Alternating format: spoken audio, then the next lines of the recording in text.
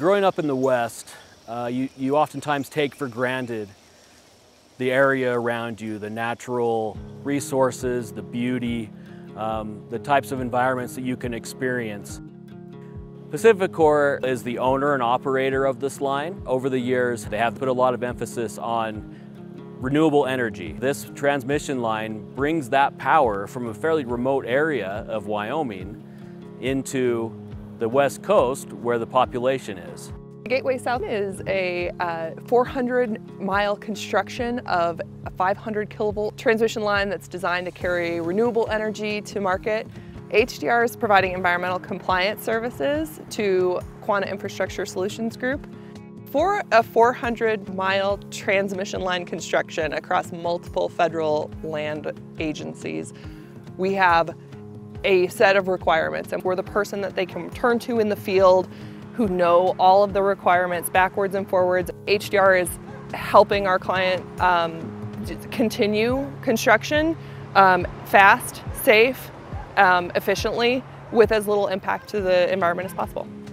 With HDR, the contractor is able to plan ahead and determine what sites are available for work, what construction activities can happen with those environmental constraints and still finish the project. In an incredibly well-connected world, we've managed to find the pockets of the uh, American West that are still very, very remote.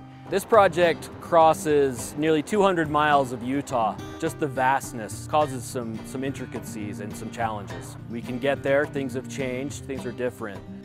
HDR is well suited for this type of large project with multiple disciplines because we have technical expertise that we can draw from across the company. We are incredibly well networked, so if we do have a problem that needs solving, we know we have the right person in-house to bring to the job. Our team's intricate network of communication uh, is really one of the keys to our success. As our population grows, our energy needs are going to only increase.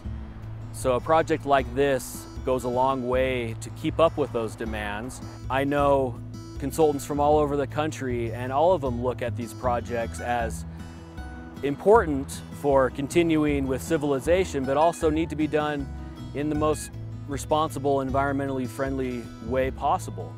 Uh, my role in HDR helps me protect the land that I grew up on, that I got to enjoy as a kid, that my kids will enjoy. I look up and I say, look, I helped build that. I wasn't hanging off of the towers, putting up the line, but everybody that was out there did help build that, and it's something that we can all be proud of.